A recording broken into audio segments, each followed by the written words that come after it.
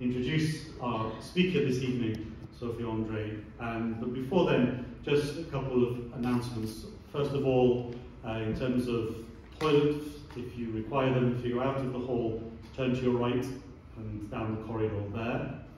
Should the fire alarm sound, uh, you'll be directed either through the fire exit here or back the way you came up the stairs and we leave the building and cross the street.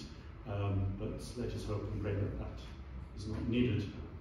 Um, also, at the end, there's tea and coffee again, but also in the foyer of the uh, entrance here, there is a small stall, as it were, a display um, for our caring for our cathedral fundraising campaign. So I do uh, encourage you just to have a look at that, please. We are uh, needing to raise funds to maintain the beauty of this particular Catholic church. And should you be interested, there is a cathedral guidebook and history for sale at £5.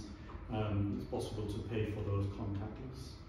But once again, you are all very welcome. And we just begin with a prayer. And I take as our prayer the collect from the common of the dedication of the church from the Roman Missal, which seemed fitting for this evening's theme of the glory of our Catholic churches. In the name of the Father, and of the Son, and of the Holy Spirit. Amen. O God, who from living and chosen stones prepare an eternal dwelling for your majesty, increase in your church the grace you have bestowed, so that by unceasing growth your faithful people may build up the heavenly Jerusalem. Through Christ our Lord. Amen. Our Lady of unfailing help. Pray for us. Saint Anne. Pray for us. In the Father, and of the Son, and of the Holy Spirit. Amen.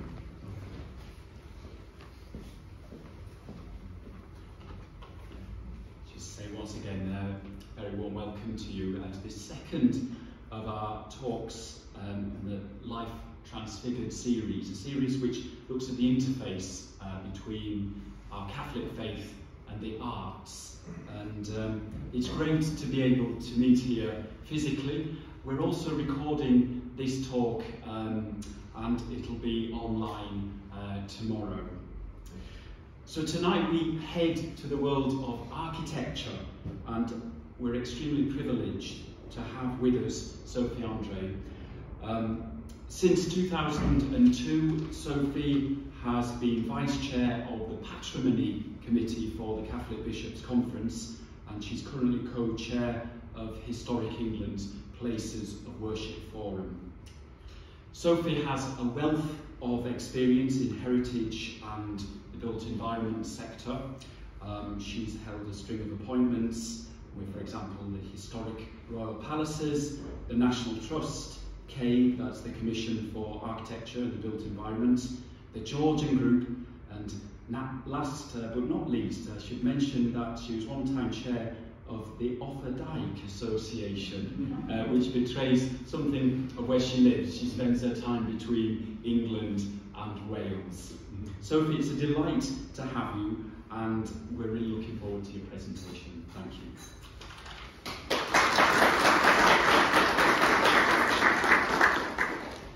Thank you very much, Father.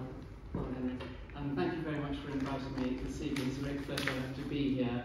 And after all these storms and things, I think you've all done incredibly well to um, to get here. First of all, can you all hear all right? Is that, is that that's okay? And can you all see all right? I'm just conscious that you over there might not be looking at things a bit sideways. And feel free to move somewhere more central because there's lots of images to see, and I wouldn't want you to um, to, um, to, to, to be missing out at all on this. Um, so I've been asked to talk about uh, Catholic um, architecture in this country, and it's a fascinating subject, and it's one that is really, I think, um, not Catholic churches in this country are really not as well known in historic ones as, as, as they should be.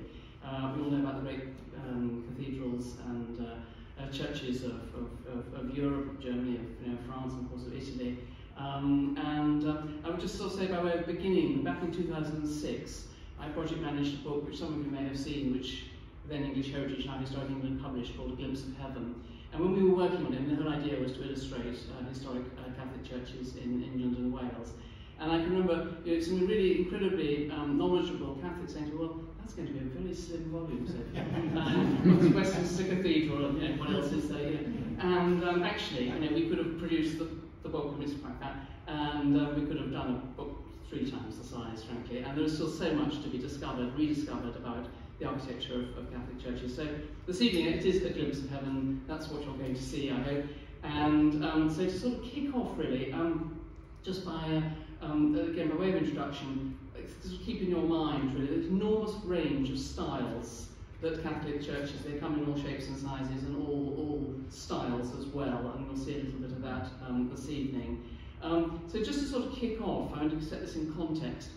We have to remember that for over 200 years, between the accession of Elizabeth I and um, the, uh, the, the, First Catholic Relief Act, the sale of Mass was illegal, and Catholics, as you know, could be imprisoned and indeed um, um, martyred for their faith. Um, so that's the sort of the starting point. And so architecture, in terms of Catholic churches in this country, really kicks off in a sort of more public sense. Um, the story really begins with the first Catholic Relief Act in 1778 which uh, allowed for the first time since the accession of Elizabeth um, priests and bishops to say Mass uh, without fear um, of prosecution. That didn't really mean, it certainly didn't mean they could say it in public, um, but, the, but those, those initial, that initial Catholic Relief Act um, allowed, uh, know, allowed relief from, from, from, from prosecution. And then, of course, it wasn't that long after that, uh, the anti-Catholic feeling um, that, that followed that in, in 1780, a key date, you had the Gordon riots, where the first emerging chapels and indeed houses belonging to prominent Catholics, really in all the sort of major cities, tended to get torched and burnt, including a number of the embassy chapels in, in London. So, so you know, that's, that's in, in 1780.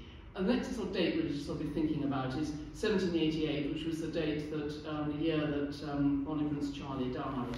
And that really took away this sort of threat of, of, of a Stuart succession. So that's kind of quite important. He had his brother, who was, of course, the Cardinal um, um, uh, of York, uh, but, but he remained living, living, in, um, living in Italy, and then he would never have been a, a, threat, in a sense, to the, to the, to the British throne. Um, so 1788, and then in 1789, we had the French Revolution, and with all the anti-clericalism that followed that, and a huge influx of particularly French priests uh, to England. Um, and combined with that, an increasing numbers of Irish, particularly fighting in the British armies and so forth, and there was a gradual feeling that really something needed to be done in terms of emancipating um, Catholics, which doesn't help. First of all, you get the, um, the key date of 1791, which I'll come on to, which was the main Catholic Relief Act, and then finally emancipation in 1829. Um, I'm not going to go into the hidden chapels of the sort of penal period, um, really going to focus on, on churches today and chapels that were sort of um, actually sort of open um, in a sense for, for, for, for public worship. And um, to begin with, they are actually all hidden chapels, um, but they are in a way quite different from. there. Oh. No. I knew this had happened. It's, it's, it's been sitting quietly. That's what's happened. It's turned itself off.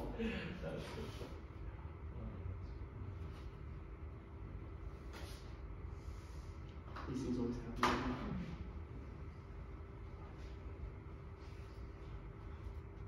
There we are. Excellent. So the first of these um, chapels I want to show you is the chapel at Wardour Castle in Wiltshire.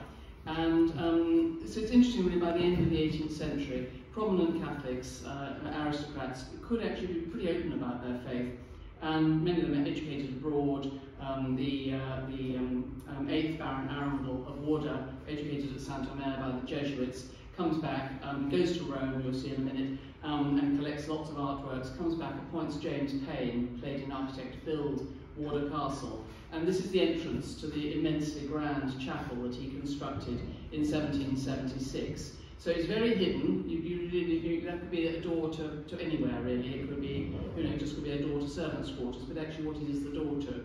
Um, dear, we're going home again. Eventually, there we go. And that's the door to the chapel at Wardour, which is a just extraordinarily grand. Um, uh, um, it's just an astonishing interior. And as I say, you know, he went to Rome with uh, the, the Jesuit who had been his tutor, and they were busy in Rome buying uh, the altarpiece, the altar, um, as you can see there. Um, um, so I keep pressing the wrong one, we'll get there eventually. Uh, there we go, wonderful, wonderful marble altar. And, um, and that's the sort of detail, that's the private um, pew of the 8th, um, the 8th Baron Arundell.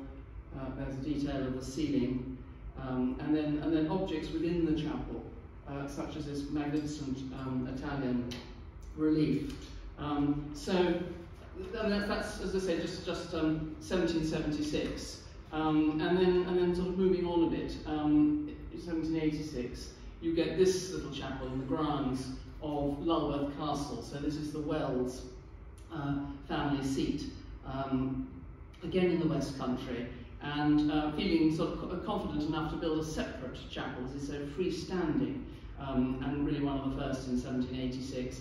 And it wasn't that far from Weymouth, and uh, George III visited um, the Welds and said, well, look, it's all right, you build yourself a chapel, but it mustn't look like a chapel. So what does this look like? It's really sort of hiding, is it a mausoleum, is it a, is it a banqueting house, a garden building of some sort? You wouldn't immediately think that that was a, a, a place of Catholic worship. But inside, very simple, very elegant, uh, very, very, very stylish um, interior. And so a number of recusant uh, families, long-established recusant families, start to build these freestanding uh, chapels or indeed churches. So a little bit later, this is 1816, this is All Saints in Hassop in Derbyshire, built by the Eyre family. And uh, um, you can see here that the Eyre family um, are, in terms of style, they're looking at Inigo Jones, because this is very redolent, this facade of Jones's um, great church in Covent Garden. And so there's a sort of hint here, Jones obviously was you know, the first sort of brings Palladianism into England um, and Palladian design. So here we have you know, this is all sort of redolent of ancient Rome, but it's also Jones as an English architect who brings classicism to England. So there's a sort of interesting sort of mix here of saying, um, you know, here we are building a Catholic church, but it is very much an English, an English building, an English-inspired building. And, um, but yet the interior, here's the interior of um, All Saints Hassop. Again, the altar, um, I, I, don't know how well you can see it here, but it's a Baroque, Baroque altar, marble Baroque altar, brought from Italy. So all the way through, you get this kind of emphasis on bringing things from Italy, usually from Rome, but, but otherwise marble altars and, and, and artifacts and so forth um, uh, from, from, from Italy. And then here's another one, and this is a bit later, this is 1836, we're still in the world of private chapels. This is Everingham Hall, um, the chapel at Everingham uh, in, uh, it's actually Yorkshire, isn't it? It's not it's, Yorkshire. Um, 1836, built for Constable Maxwell's. But again, you know, is that really a place of Catholic worship? It's certainly owing a lot to Rome, um, and the interior is quite remarkable. This is a private chapel on a private estate. And uh, um, I mean, those saints um, have been carved in Rome, but um, they almost look like they could be Roman emperors, couldn't they? But this is a real, um, a real homage to, to, to Rome, um, and so on. But so there's just a sort of a number of the private, privately built um, chapels by major Catholic landowners. But the next sort of key date, sort of hold in your mind, is 1791, uh, when the Catholic Relief Act, the main Catholic Relief Act, is passed, which actually makes it possible uh, for the first time for um, churches to be built in, in, in, public places and actually open for public worship. And this is one of the first. This is um, St Thomas of Canterbury, uh, in Newport, in the Isle of Wight. And the Isle of Wight, interestingly, everyone knows about the north of England having you know, strong heartlands of recusancy, but actually the Isle of Wight also was a strongly recusant place um, throughout the penal period. And so 1791, you know, the Act is passed, and a, and a rich widow um, called Elizabeth Heneage um, pays for this church, and she also paid for the, a rather similar church, uh, sadly rather altered since, but in, in Cowes. And, um, and so you know, this is so what is this? What, you know, in terms of style, what are we kind of looking at here? I think apart from spotting the crosses, um, um, both on the, um, on the pediment and on the little porch, you might just think that was a little Methodist chapel, a little brick Methodist chapel. So it's very self-effacing. Um, you know, the Gordon riots weren't all that long ago, and there was always the fear of the mob. Um, and actually, another point about Catholic churches, they can often be in sort of side streets and rather hidden away, and often with rather plain exteriors hiding um, rather amazing interiors. It's another reason why they're less well known than they should be. Um, but, but this little gem, as I say, is one of the earliest surviving um, Catholic um, churches uh, for public worship. But um, not, not sort of not that much later, we sort of move on, confidence is growing, uh, Catholicism pretty strong in the northwest. Uh, this is St Mary's Wigan of 1818, and it's really quite a large church, and you can see here, moving on from the sort of ancient Roman, we begin the Battle of the Styles, and here we have a, a, an essay in, in, in Gothic, um, but it's rather in the sort of um, Strawberry Hill type, more fanciful Gothic than we're going to see later with Pugin, uh, who's really going back to the medieval period and trying to be as authentic as he possibly can be to the sort of medieval, his idea of the medieval um, I, you know, ideals. Um, so there's Wigan. And then we move to Hereford. And uh, this is 1838.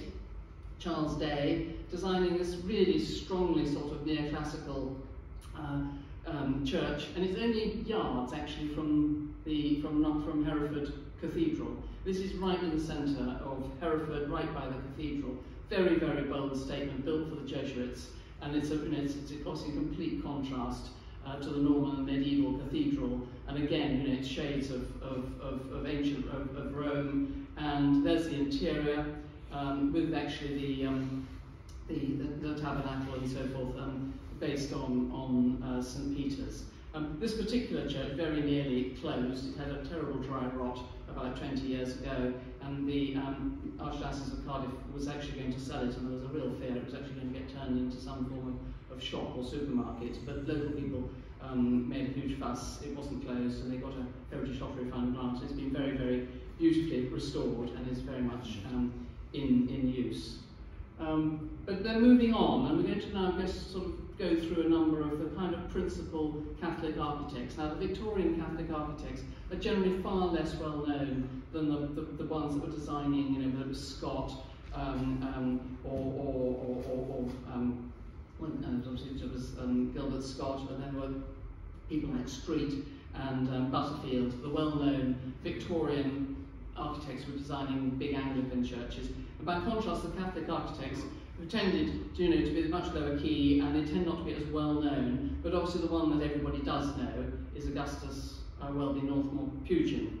And one of the reasons Pugin is so well known um, was because, of course, his books, his publications, and particularly the one called Contrast, which he published, which sort of illustrated really the, the whole industrial revolution in England and life in, in, in England um, at the period he was doing this was, was all ghastly and poverty and everything else, in contrast to um, the perfection of the medieval period, in particular monasteries, looking after people, and it's all a series of engravings showing you know, what life as he perceived it was like in, in, in medieval England with life in Victorian um, um, England, and this business of contrast, and uh, essentially arguing that the only form of architecture for any kind of ecclesiastical building, or any building basically, was Gothic. Um, this was this was the inherent architecture of Northern Europe. He loathed the whole idea of classicism and thought it was pagan, and, and wrote passionately about it.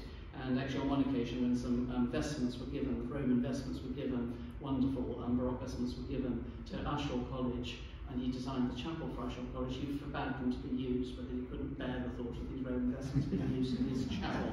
So he was, he was very difficult, very passionate, and hugely, hugely influential. So this is St Mary's Derby, which was his first major church, and um, this is 1838. Um, he worked himself to death, as you probably all know, and obviously he's also known for the Houses of Parliament and, and, and, and um, working with Barry on all the Gothic detail there. But a very classic type of Pugin feature um, is this kind of rood um, arrangement, um, uh, um, sort of, you know, in, like a sort of medieval rood screen, um, obviously with the crucifixion and so forth. And then there's another really major commission. It's St Chad's in Birmingham, which is 1839.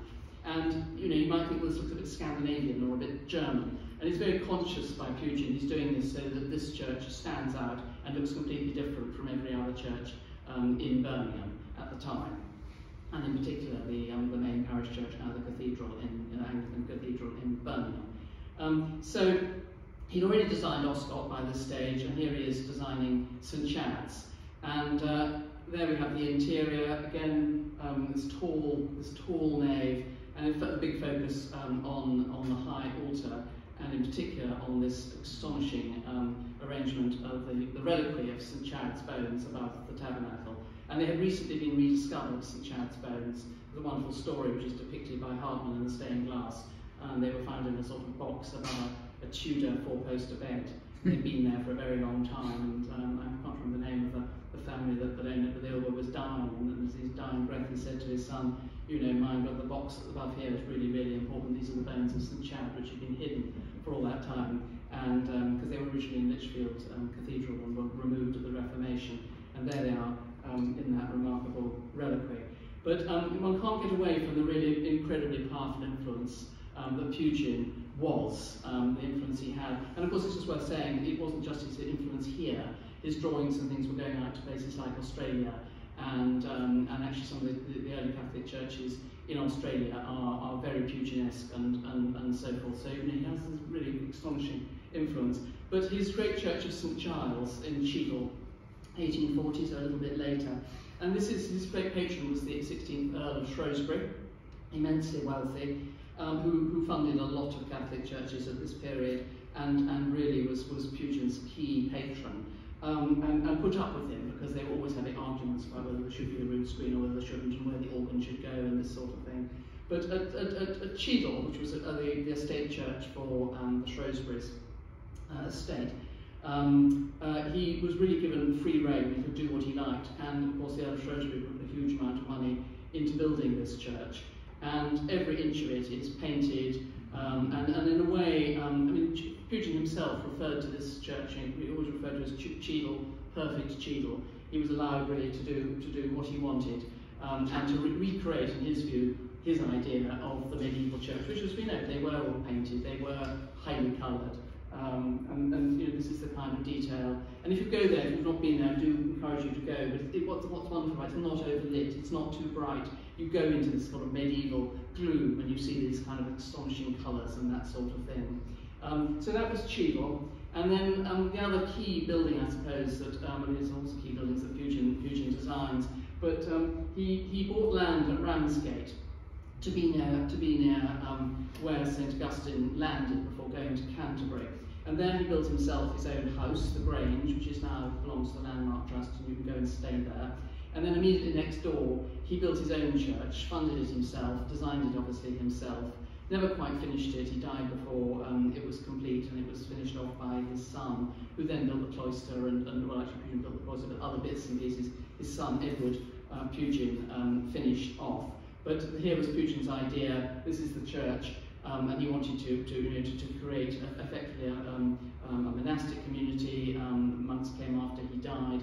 Um, uh, here's, his, here's his tomb, he's buried there. And this is the most remarkable place. And uh, it's been very recently restored with a major uh, lottery fund grant. Um, and is a real jewel, actually, well worth, well worth going to see. Um, it's, a, it's a magnificent place, but very much embodies everything that, that Pugin um, stood for.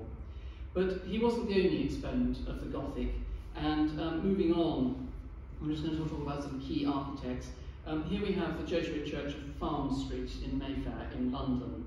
And so, you know, a really key major church in the centre of London. And this is designed by J.J. Scoles, who was very much favoured by the Jesuits and built quite a number of their, their churches.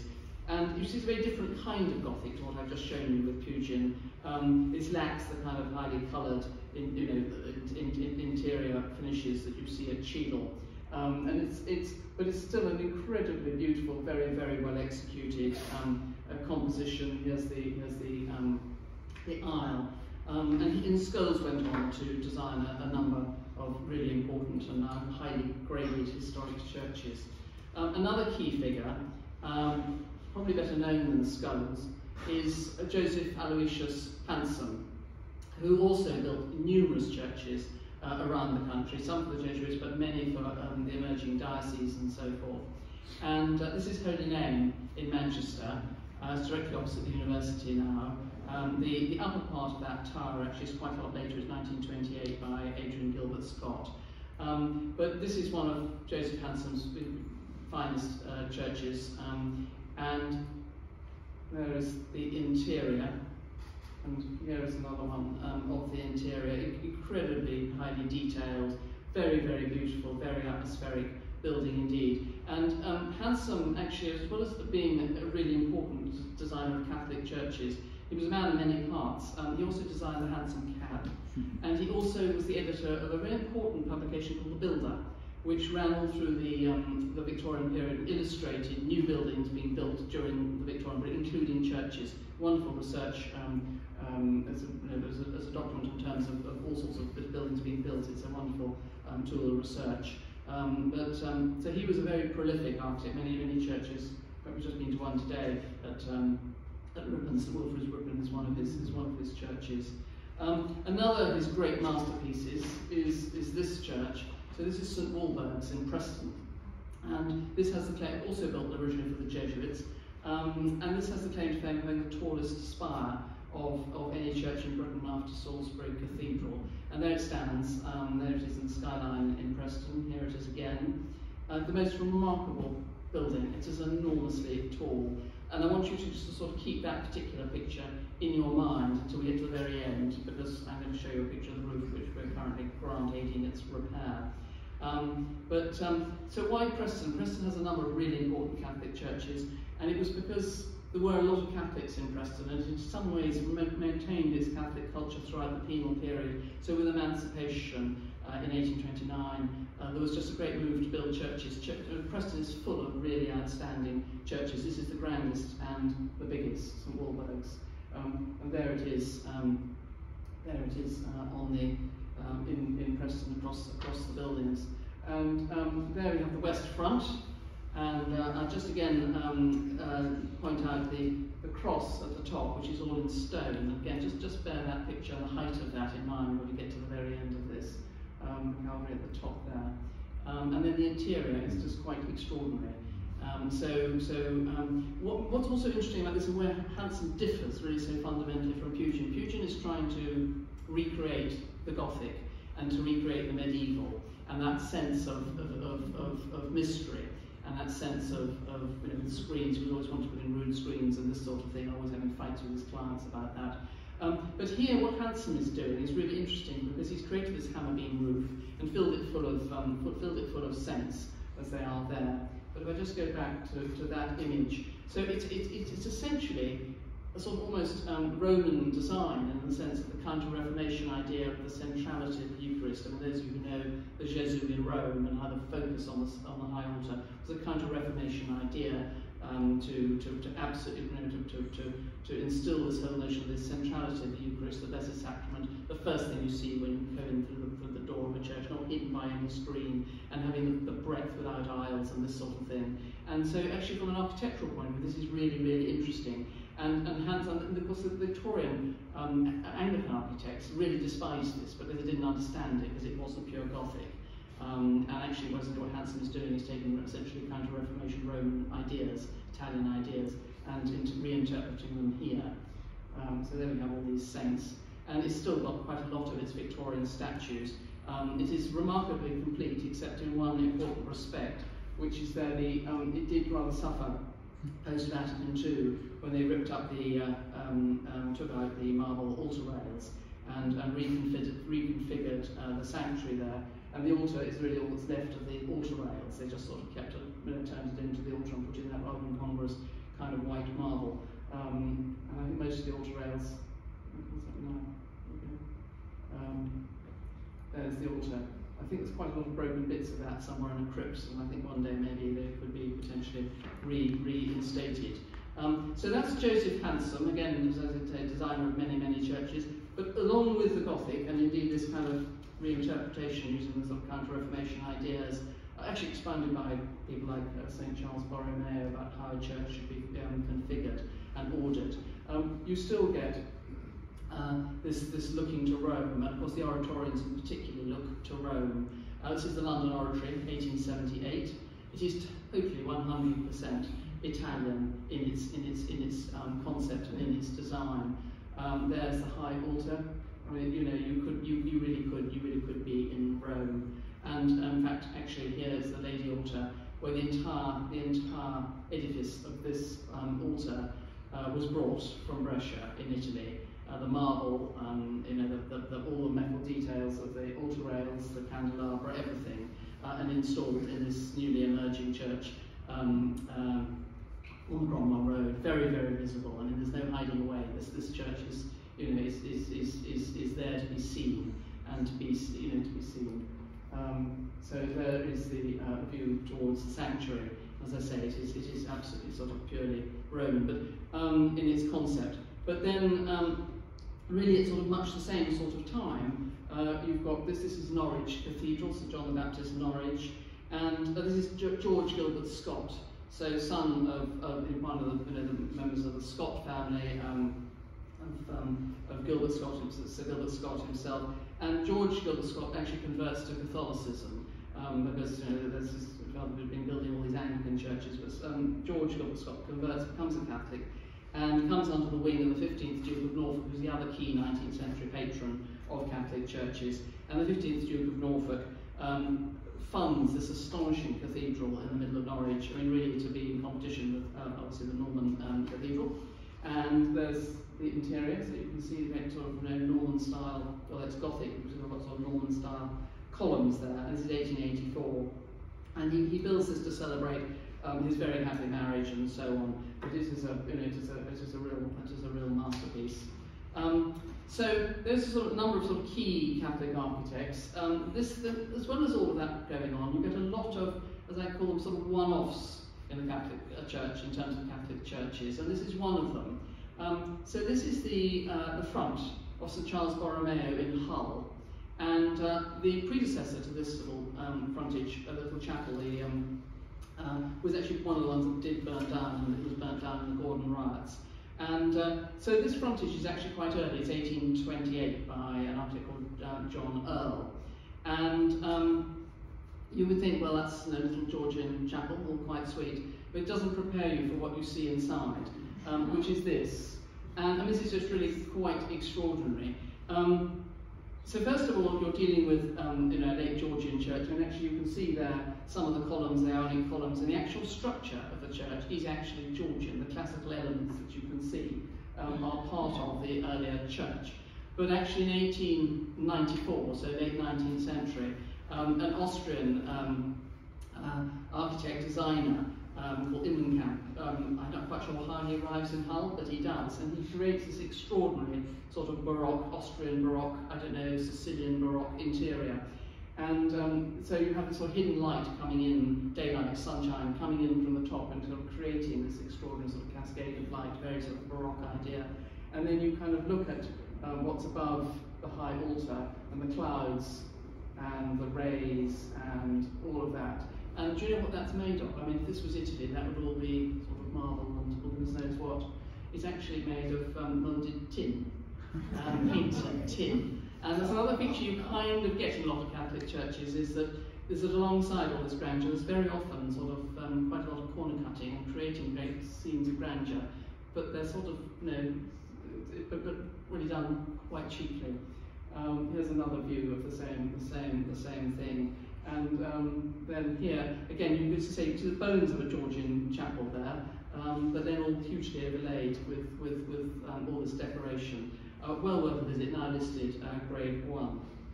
Um, so moving on, uh, this is Holyrood in Watford, and here I just wanted to introduce another of the great Catholic architects in this country who's produced, uh, John Francis Bentley. And um, Bentley is essentially, he's a late Goth, and uh, I mean, this is one of his one of his um, one of his masterpieces, really. And uh, um, here we have the you know the interior. You can see the inspiration he has from Pugin uh, with his with his rood. Um, Bentley is, is really really important, not only as the the designer of Westminster Cathedral, but for really his sense of colour and um, he, particularly his interiors, um, which are always where the colours have remained and, and, and, and survived, absolutely stunning. Uh, was the pulpit here mm -hmm. in St Anne's, I think, was, designed by Bentley, wasn't it? And I know that there's a scheme afoot to, to, to, to reuse parts of it, and uh, it was removed some, some time ago. Um, but um, here, here we have uh, the actual um, cross itself, and here is the um, high altar, and every little detail, attention to every kind of detail. You look at the steps, you look at the inlay, um, you look at you look you look at wherever you look. There's just wonderful colours and a richness. Um, here is the, um, the, the, the use of gold. I mean, look at the decoration of that of that tabernacle. Um, and he designed absolutely everything at Watford. Again, a church really well, well worth um, going to have a look at every single detail.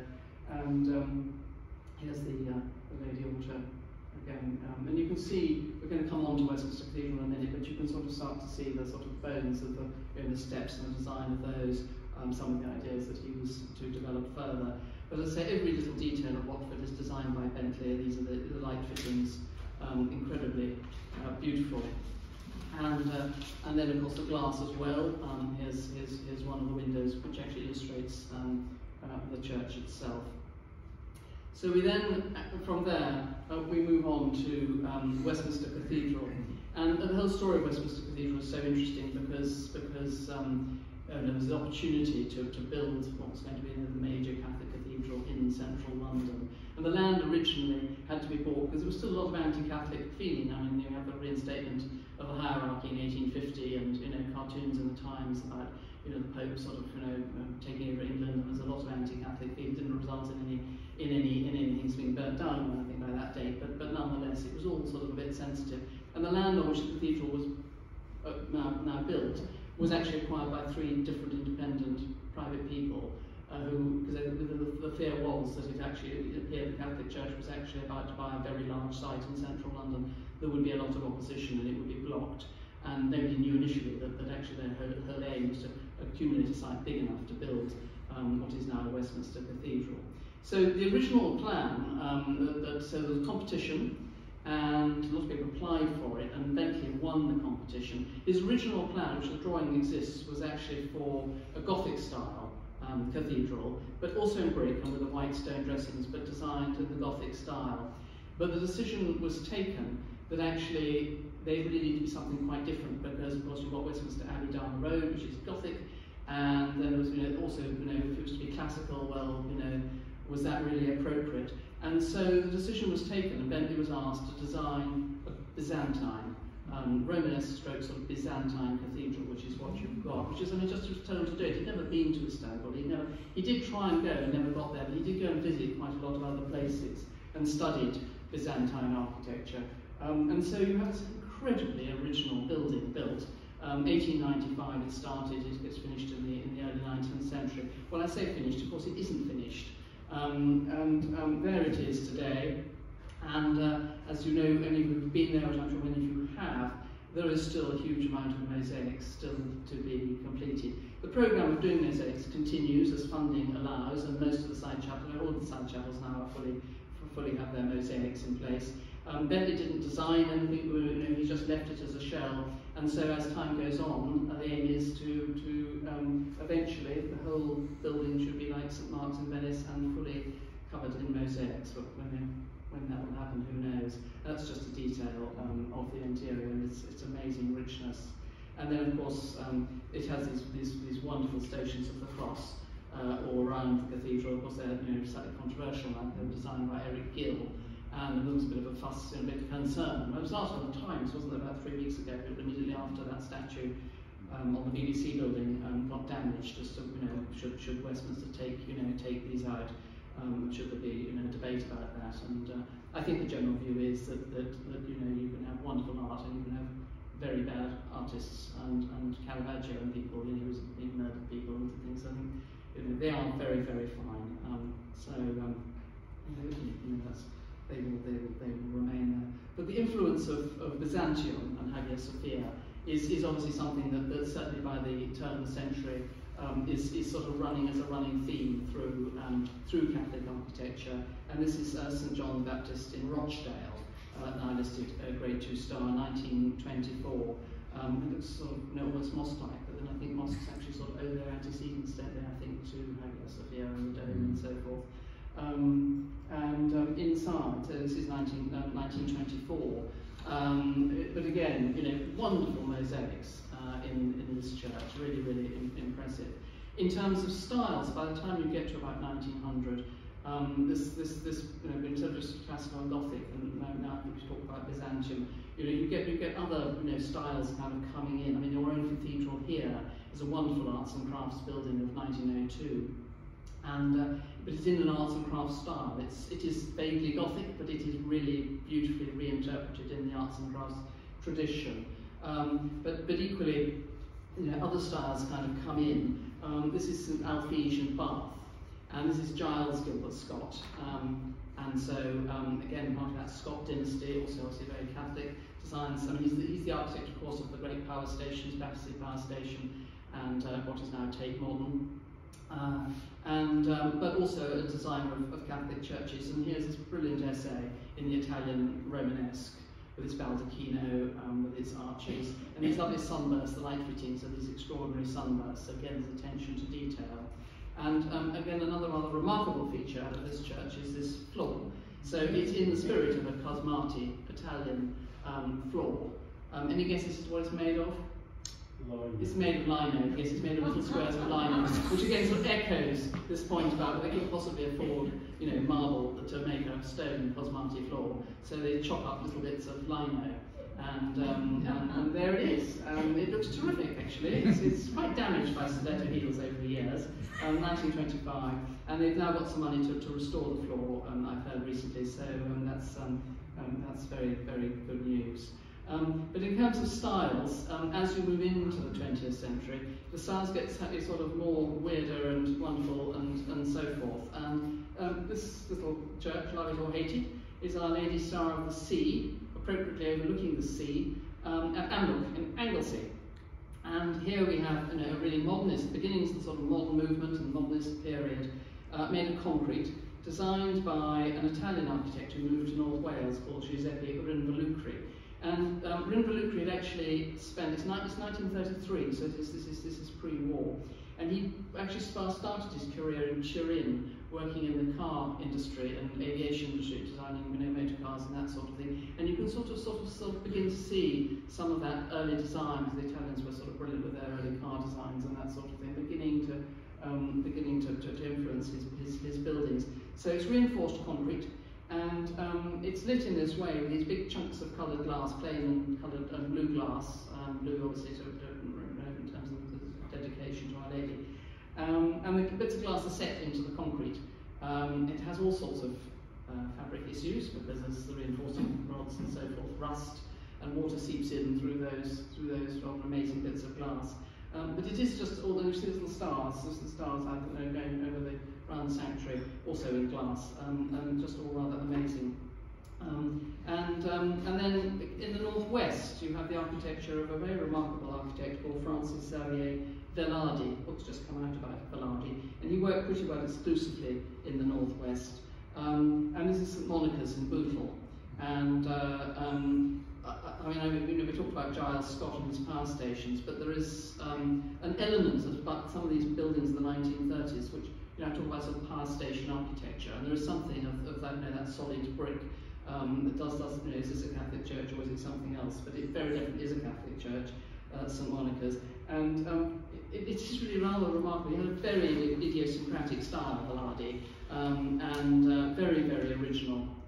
And uh, those are the angels on the outside. Uh, inside uh, there is the, the sanctuary, um, and uh, those are all well worth, well worth visiting. Mean, another of his churches, pretty plain on the outside, 1952, so into the post-war period now. This is English Martyrs in Wallasey, so they all are up in the, north, up in the northwest. And that rather sort of plain, perhaps rather severe exterior.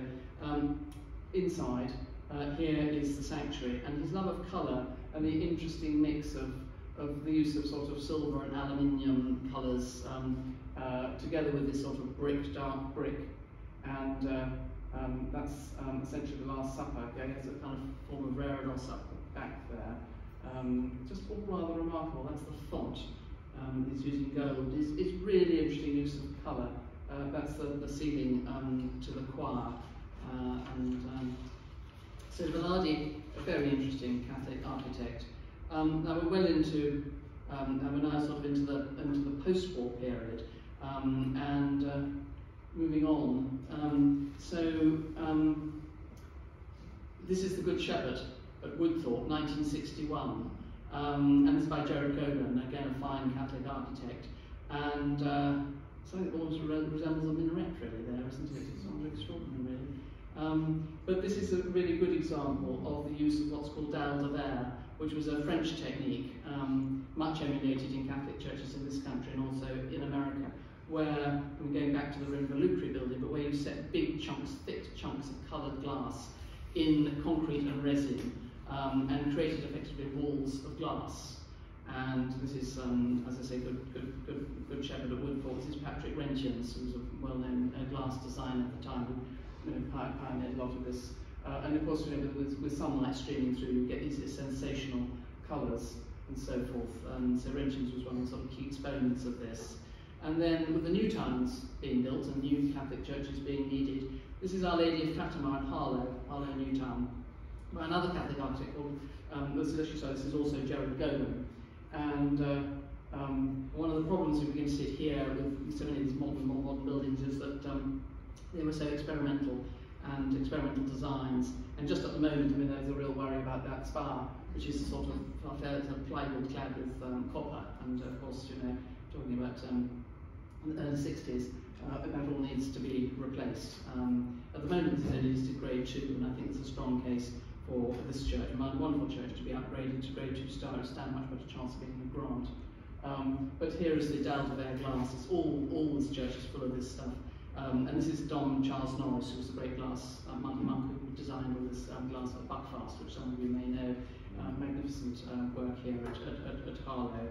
And um, uh, interestingly, Sir Frederick Gibberd, who was the actual architect of Harlow New Town, apart from this church, went to the um, um, the, the mass that celebrated the um, consecration of this church, and he actually well, he wasn't Catholic, but he was so impressed by by everything he saw, and um, we'll come on to um, um, Liverpool in a moment. And at the time, Liverpool's was the competition for Liverpool Cathedral, and he was so impressed by the Catholic Church designed by Goalen that he he, he, um, he put in for the in for the competition and then won it. Um, but this is just a sort of side aside. Um, uh, this is St Francis of Assisi in Ealing in Cardiff. It's on the outskirts of Cardiff. It's a very, very poor neighbourhood. And it's just very simple to how the 1960s is a very typical 1960s modernist church. Um, and, um, and it's really it's really quite fine in its in its design. But I mean, familiar probably the sort of style of church which many of you will be familiar with. It was a great boom of Catholic church building um, particularly around places like Liverpool, but all over the country in the 1960s. Um, and you know, this, this kind of um, modern artwork on the outside. Um, I mean, inside, it's, it's really just sort of hall-like. There's nothing perhaps in terms of its internal design that's particularly remarkable architecturally. But it does have this astonishing um, sequence of tiled stations of the cross. It's like a sort of theatre gallery already all the way around there and they're all tiled and they're all the stations of the cross. I've never actually seen that in any other church where they're not fixed to the wall, but they go in this kind of uh, semicircle around um, on this kind of gallery. And these are by um, a Polish monk called Adam Kossowski, who, who, who was sort of just did these tiled figurative panels and did them in a number of places, including um, uh, Aylesford, the, the shrines of Aylesford, the shrine, shrine chapels at Aylesford, um, are all, are all um, full of these wonderful tiles. This kind of, um, and Downside also has an altar um, by um, Kossowski. But um, moving on to Liverpool, Liverpool Met. Um, so Sir Frederick Gibberd, having designed Harlow New Town, been hugely impressed by uh, the, the Church, um, Our Lady of Fatima in Harlow, wins the competition for Liverpool Metropolitan Cathedral. So the background to this, as some of you will know, is that Lutyens, Sir Edward Lutyens, had been commissioned before the war to create what would have been, I think, the, the second, I think it would have been the biggest church probably after St Peter's. I mean, it was the, the megalomania of the thinking of the 1930s in Liverpool was extraordinary. The, the model exists, the drawings exist of, of Lutyens' design. But the crypt, only the crypt was built. And so in the post-war period, there was never going to be funding to, to complete Lutyens' design. Um, interestingly, they chose Lutyens, who of course was an Anglican. Um, um, but anyway, they had this competition, and then they chose Sir Frederick Gibberd, who I think actually was a non-conformist, to build Liverpool Met.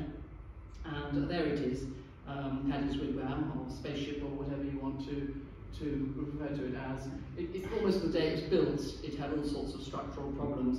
I mean, that corona on the top meant to um, echo the crown of thorns um, is all verre, as you'll see in a moment. and um, the combination of the sort of concrete and the resin, you know, sort of untried, untested sort of mixture. And of course, this gets the full force of all the sort of sea winds and so forth from the Mersey, and has caused all sorts of challenges. And there was no access up there. I mean, at least in the medieval period, they did design little staircases up towers, and you can actually, most of the time, get to most parts of medieval cathedrals. You can't get up there. And think scaffolding that, and it's, you know, it really is kind of quite, quite something. Um, you get condensation and all sorts of things, but that's the main entrance. I mean, it's an incredibly powerful design. Um, and uh, then inside, I mean, the, the, the light from the de glass, I mean, is just quite sensational on, on a sunny day and, and the sort of main floor of the church is in these blues, and then the corona at the top is in these um, reds and oranges and yellows. And this was a combination of, of Patrick Reyntiens, who I mentioned, um, and John Piper. They designed all this glass together, and it is a work of art. And actually, the challenge with terrible condensation, um, I mean, the, a lot of the, the, the, the smaller um, bits of concrete that, into which this glass is set were beginning to erode. And um, the whole question was then, well, well, what do we do? How do we, how do we restore this? It is a work of art. You can't just take it off down and rebuild it because it is not the same thing. So there's been a lot of research done on how this can be stabilised. And um, a significant grant was obtained to, um, actually from the Getty Foundation to really just look really, really carefully at how this work of art could be, could be stabilised and, and preserved um, and uh, hopefully accessed as well. Um, but it's a remarkable building. Um, 1964, uh, Francis Pollen, another important architect, um, modernist architect, this is Worth Abbey, uh, in, um, attached obviously to, to, you know, to, to Worth School. You see how it just sits within that landscape of the downs and so forth, and this incredibly dramatic interior. Very, very fine architect, Francis Pollen, who also designed the library at, um, at Downside um, and part of the monastery there. And then scrolling forward again, um, this is Clifton Cathedral, 1969, Percy Thomas Partnership. And uh, again, there's elements again of sort of power station type architecture, an extraordinary sort of interpretation of a spire. And then inside, um, you've got, it's all in concrete, um, and, and a really impressive space. And uh, around the walls, the Stations of the Cross are all um, cast in concrete. Um, and the floor is beautiful tiles, and they put in electric underfloor heating, which they thought was the latest thing. And of course, it's always been far too expensive to run. So uh, um, there it sits, and you can't dig the floor up now and put kind of heating in the floor because it's a historic floor. So there's all sorts of issues with these modern buildings. Um, as you can imagine, that's just a detail of um, the stations of the cross. And there is uh, the font again, more down to their glass.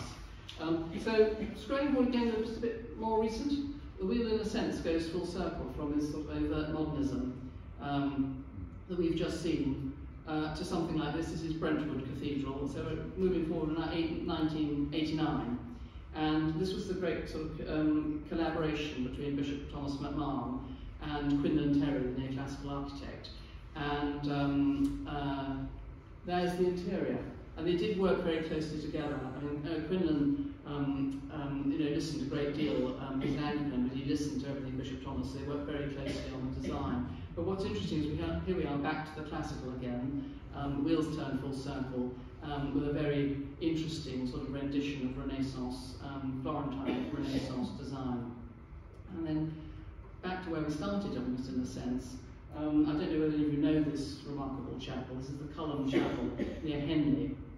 And um, this is a private chapel built by the Schwarzenbachs quite recently, opened about five years ago, uh, designed by Craig Hamilton, uh, who's a, again a classical architect. It's actually highly original. It's a very, it's uh, you know I don't think it's it is a really interesting interesting building.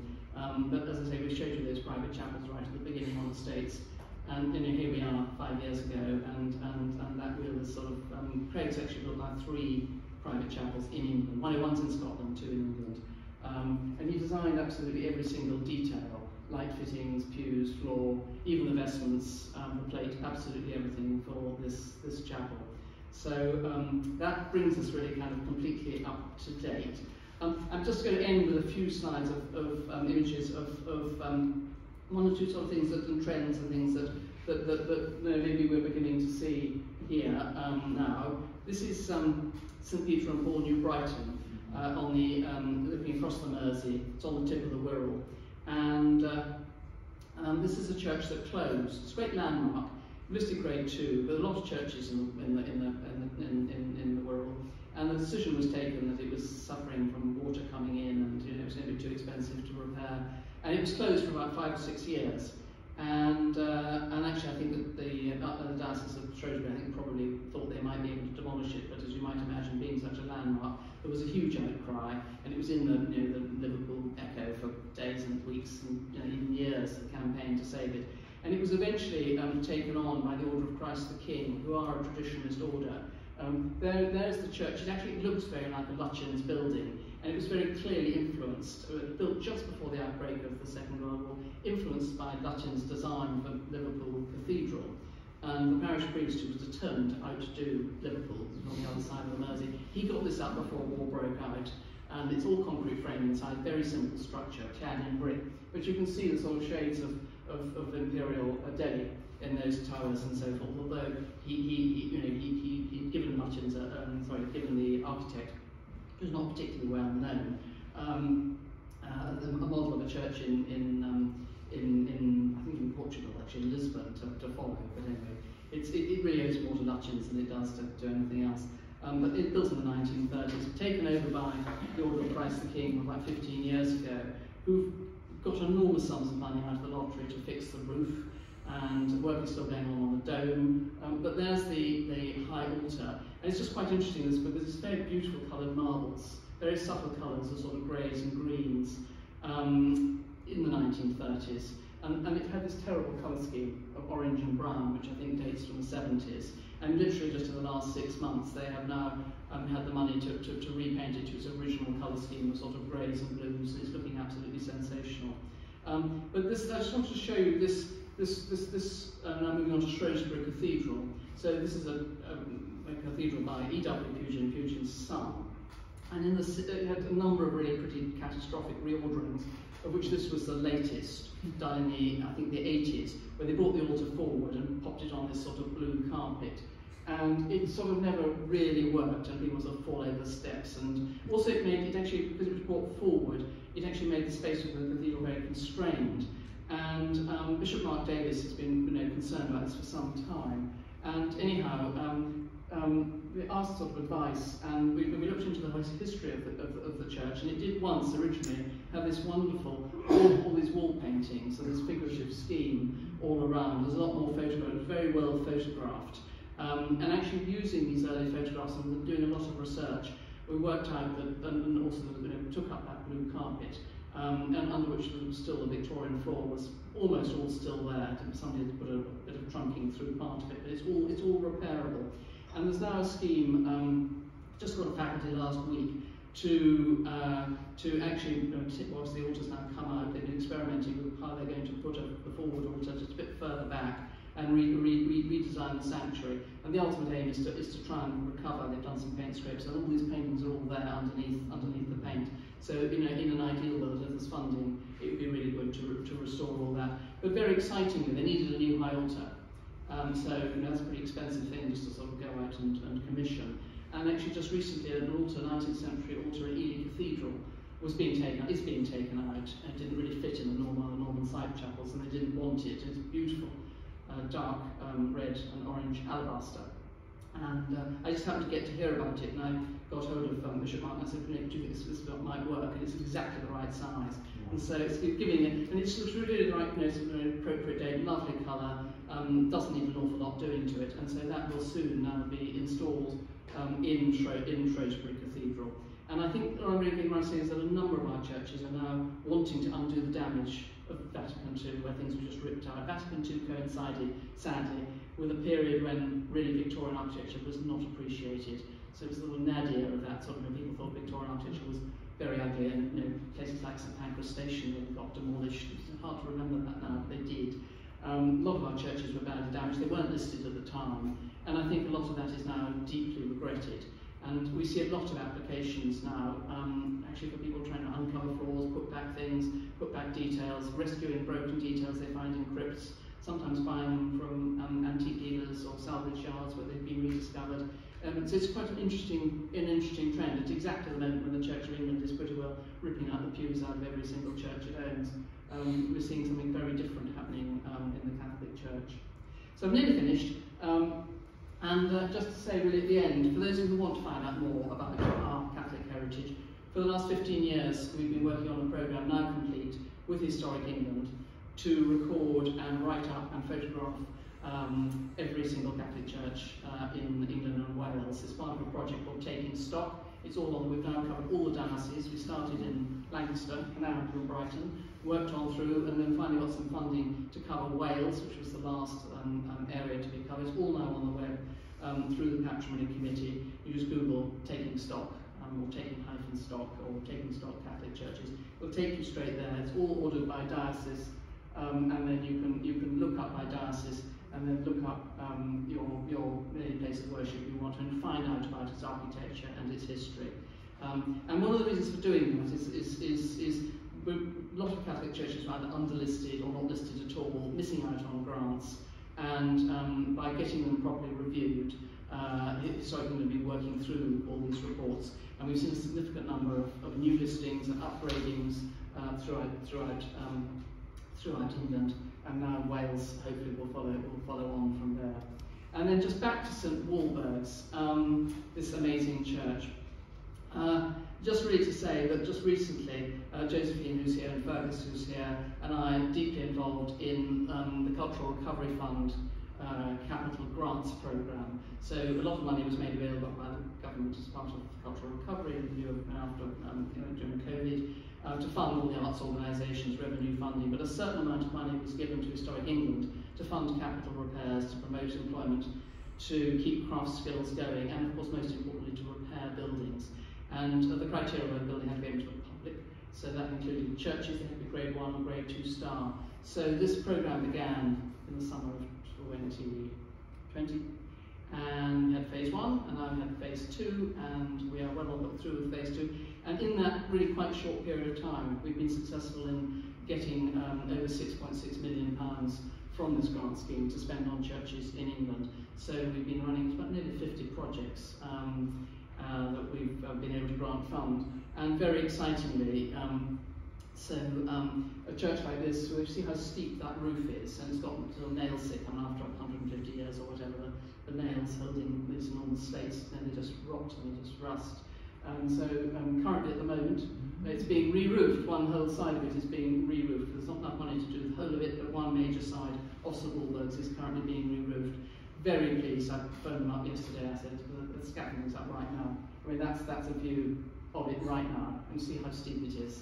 Um, anyway, it survived the storms. Um, what nearly didn't survive the storms, but um, to my last slide, um, there's that cross that I mentioned right at the very beginning, right on top of the, um, of the west front. And when they got the scaffolding up there, they realised that it cracked in several places and was really at the point of falling off. Fortunately, they took it down about two weeks ago. And it's going to be repaired and go back up. Um, but thank goodness, because that would have come crashing down in the recent, um, in the recent storms. Uh, so um, it's very exciting with all these projects going, and Fergus and, and, and, and Joe and I, and I, we couldn't do it in 2020 because of lockdown, but we're actually beginning to get out and see some of the work that's been done, and we've been up to Britain today um, to see you know, the, the, the, work that was funded there in the last phase, and also a little bit of work here, which funded. Important things like the fire alarm system, um, and the, which, which needed a certain amount of upgrade, and these grants have been, as well as doing repair work, have actually been able to put to really practical things like, like um, making sure that, the, the, the, there is proper fire protection and that kind of thing. So it's been a fantastic grant scheme and we're very much hoping that, that when this is over as Historic England will continue with some sort of funding like that because actually we're going to keep these places open and in good repair. You know, government funding really is really is needed and we need to get our share of it. The Anglicans usually do incredibly well and we've generally been less good at getting the grants. Um, and we're very clear that, uh, that that mustn't continue. But I think this recent grant scheme has been really important in showing that we, that we can actually you know, do these huge projects and do them well. That's the really key thing. I think that's really all um, I'm going to say today. And uh, I take any questions if anyone wants to ask me any questions.